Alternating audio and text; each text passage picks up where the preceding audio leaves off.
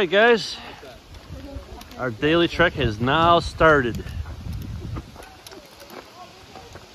There's only one way you can go from here.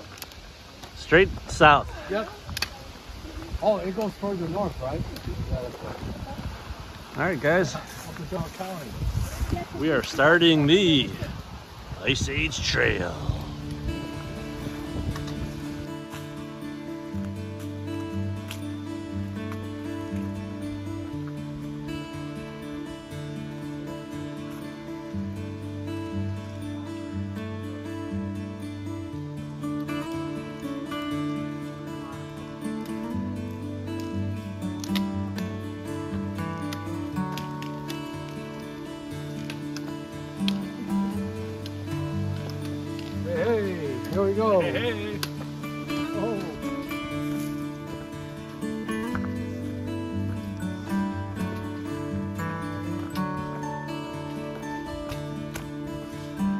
We're about 15 minutes into our trek, and I just wanted to give you a little bit of information about Kettle Moraine.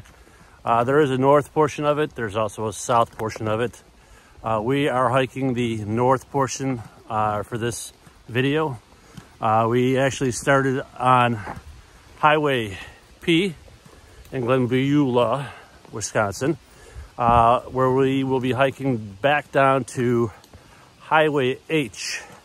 Uh, Highway H is where we dropped off our initial car uh, so that we have a car at our starting and finishing point. Uh, that Highway H is located in Campbell's Sport, Wisconsin. Uh, there's a off-road parking, there's an overflow lot, and uh, you do need to have a Wisconsin State Park parking pass. Otherwise, they will tow your car. Uh, the pass is good for a year, and it actually goes to help to keep and maintain the parks and recreational stuff here in the beautiful state of Wisconsin. So get it at the beginning of the year, use it the entire year, and enjoy the beautiful scenery that's here. So uh, today is Columbus Day weekend. It's roughly about 44 to 45 degrees, and it's uh, if you can see, sun's coming out. Uh, it is Friday, October 7th. So hope you all enjoy. See you along the way.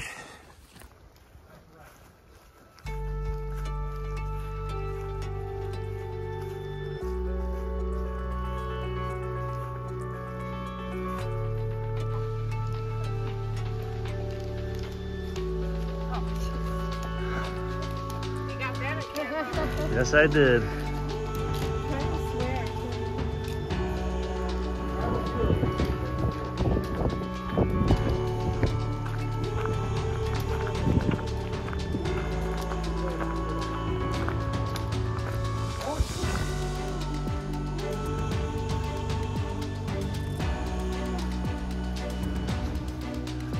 Some of the topography of North Kettle Moraine.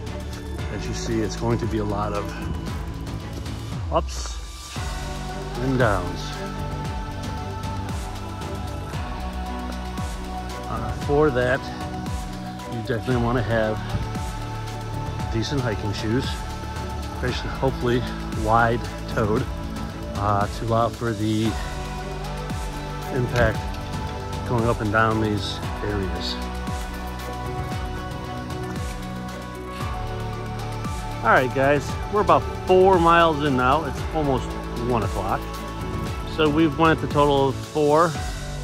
As you can see by the sign, we're going to the Greenbush Kettle Shelter number five.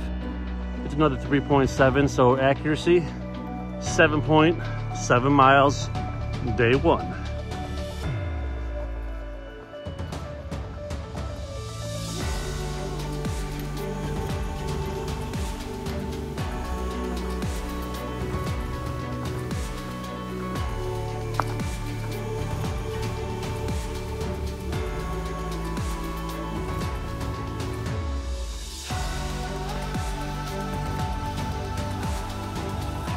Hey guys, it's about two o'clock and we have exactly 1.2 miles left on this trail. I unfortunately didn't take a picture of that sign to show you that, but we are about 1.2 left to base camp uh, at which time we'll set up, eat some good food, partake in some beverage, and enjoy a nice campfire with friends. Uh, with that said, we started at 10:45, and it is approximately two o'clock. So we have about a three hour and 15 minutes that we've conquered, uh, roughly about 6.6 miles. So we're averaging two, two and a half an hour. Uh, the trees and roots right now in October are uh, trees, roots, and rocks are all covered by the fallen leaves. So it's making the uh, hike kind of uh, a test on your ankles. So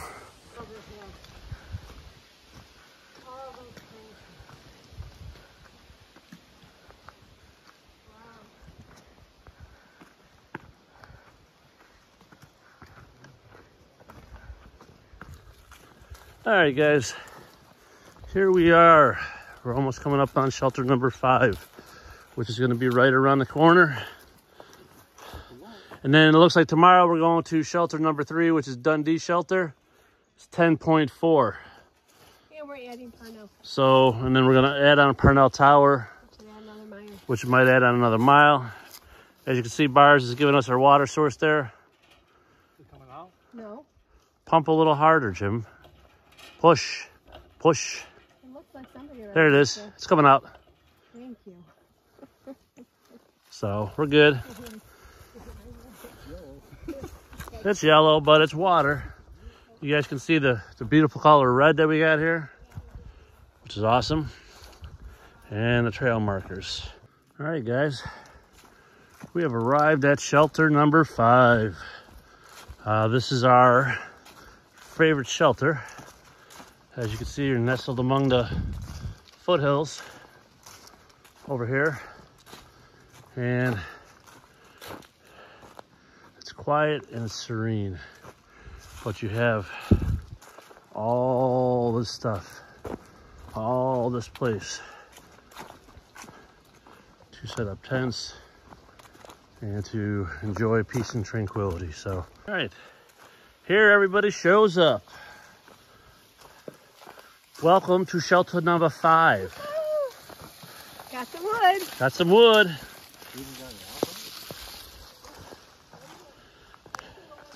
Boy, you take your bag off, you you feel like you're walking all weird. I know.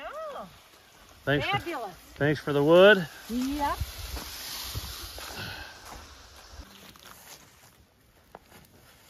Watch that second one goes. Nice job, uh, guys. burning for a while.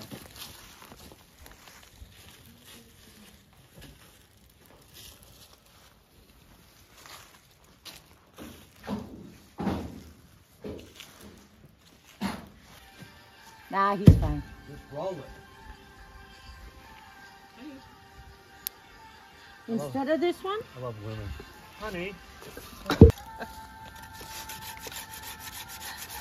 Are we passing a barb?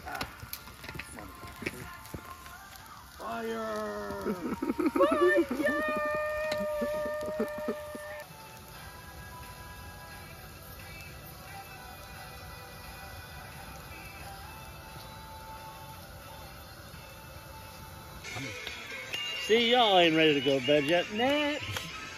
He's already asleep. Georgia.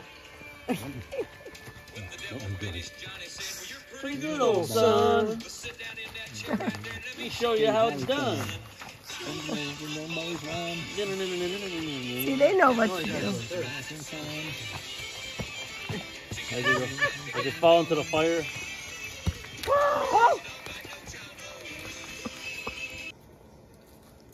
Good morning, guys. Today is Saturday, October 8th, and the entire gang is up.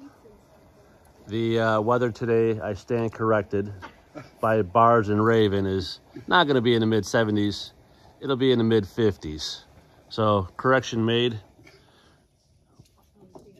We got Spider over there making coffee for himself this morning. Hey, morning. And we got the people that stand corrected over here drinking their coffee, along with our fire. And then there's Yogi. Good morning. Good morning. So today we're going to be hiking out to Butler Lake with a stop off in at Parnell Towers for a total of about 11 miles. And hiking shelter. And we're going to shelter number three today. So this is where we spent the night last night. Uh, actually, we got two mirror tents in there. Uh, so four of us were able to sleep inside that. And our third body who wanted to sleep alone kind of has his tent set up over there. Uh, the area is beautiful. As you can see, caterpillars coming back from the odd house that we have. And uh, it was a good night. So we're gonna get the day started and I'll check back in with you later.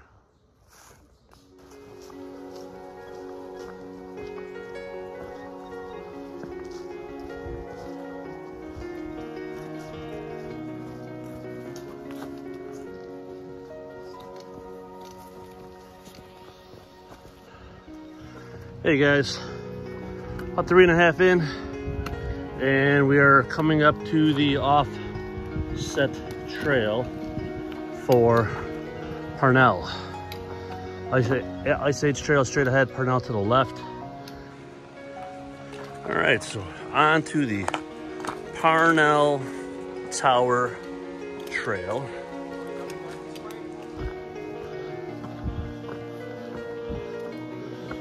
There is Parnell Tower. And that is Parnell Tower. Stairs and more stairs.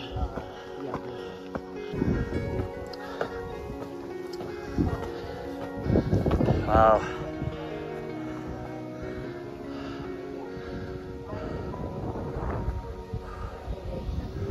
Guys, let's keep going. These are getting better.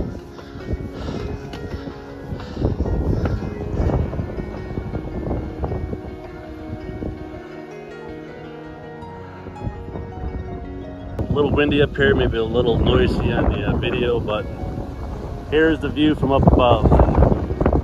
You can definitely see the beauty. You can see the fall colors all coming in. And you're just above the canopy, all the way around. Even a colorblind individual like myself can see the colors up here. So, gotta love it. All right, guys, we are now done with Parnell Tower, and you, as you can see, we are heading towards Butler Lake, which is going to be our water source uh, before we get to Dundee Shelter number three, which is seven miles out. So, Butler Lake, water source. Last spot to fill up for quite a while, so good sight to see, good water source, and good place to sit and have lunch. So let's get started, and we'll check back in later. And here is the Butler Lake rest stop area.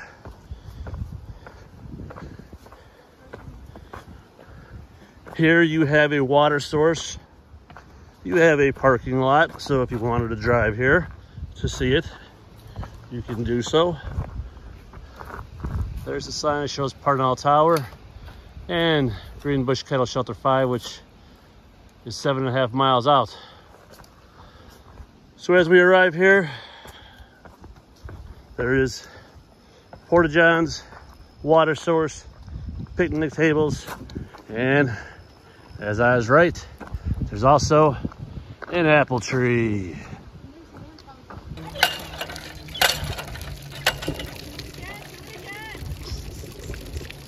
Hey, just a tidbit of information. As you leave Butler Lake, since it is your last water source between there, shelter number three, and Mauthe Lake, which is all together about an eight mile stretch, you're gonna wanna invest in this kind of uh, device. Ours is called a CNOC. You can get them in one liter, two liter, three liter sizes, or even bigger. Uh, it's a good way to transport water when you know you're not gonna have any. So, word to the wise, CNOC, bring your water. Alrighty, we are now approaching Dundee Shelter number three. We got another 0.7 miles to go. It does come off of the Ice Age Trail Pass. But it's another little gem that's out there. So you'll be about a half mile to three quarters of a mile off track. Uh, but it's a beautiful campsite. It's secluded and it's nice just to get away from the uh, traffic of the trail. So what is that? It is our final destination, people. Shelter number three. We have finally made it. And as you can see, it's another beautiful campsite with beautiful raven. Beautiful skies.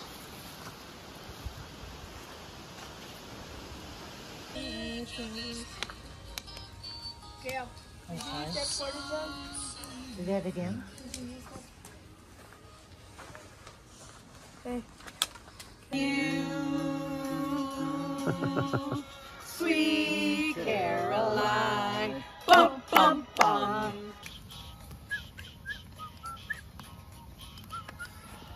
Look at 49. Morning. It is Sunday, October 9th. We are leaving shelter number three, 'Cause that's what I was- roughly at 8 a.m. in the morning, and we will be heading to Highway H, which is going to be our final destination point today. Uh, total mileage today should be about 14 miles. It's going to be high in the low 50s, and it looks like it's going to be somewhat cloudy. Uh, it's a good start up to our morning. We've all had breakfast, broke down camp, and we are now on trail at 8 a.m. So, the last 14 miles of the North Kettle Moraine Ice Age Trail headed towards Highway H is probably the toughest part of the trail. It's the most hilliest and probably the rockiest. Uh, one thing you'll learn about this trail that is that it's a ton of roots and a ton of rocks. So your feet will definitely take a beating out here, but well worth it. Just make sure you have good shoes, good hiking poles, and Leukotape. Leukotape's good for the hot spots before they arise. So things to pack in your bag, your little toolbox, as they say.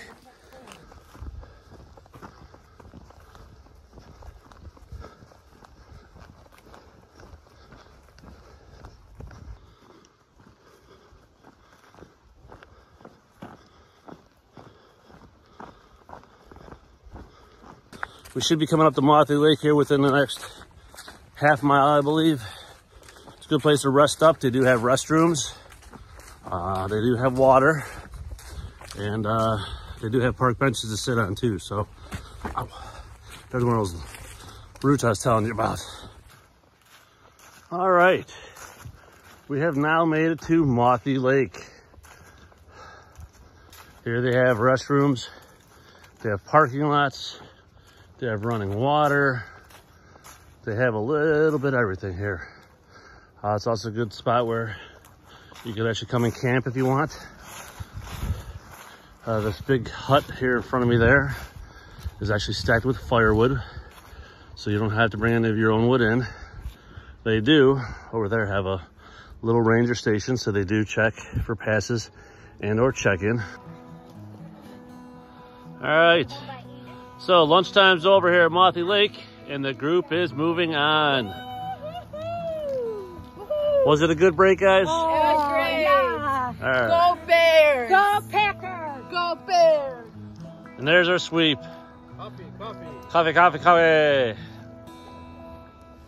And we're on the road again. All right, guys. So, like I said, lunch break is over and we are going to Highway H Trailhead. I was just thinking. Highway H Trailhead, as you can see, nine miles ahead. I was just never thinking seen another mile in there. Awesome, awesome. It's nine. I heard from Austin. All right, guys, here we go.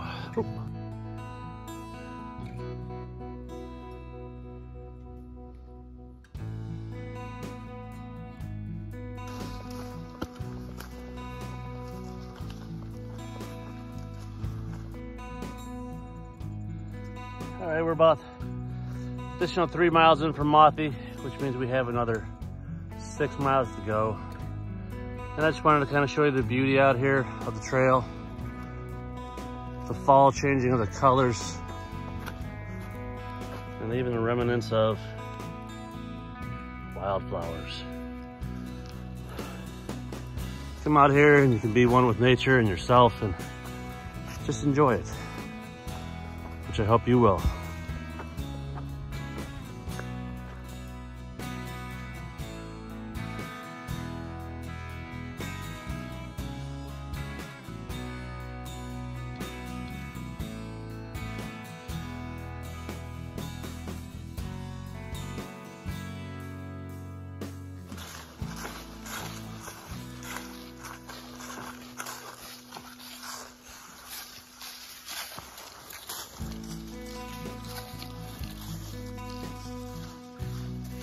Beautiful trail.